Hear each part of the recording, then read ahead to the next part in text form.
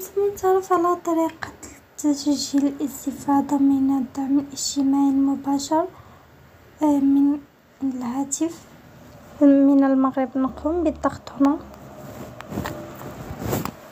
ثم سوف نقوم بالبحث هنا عن موقع دي بائما سفيد على هذا الشكل سوف نقوم بالضغط هنا على طلب الاستفادة وهنا سوف نقوم باختيار الجنس أنثى أو ذكر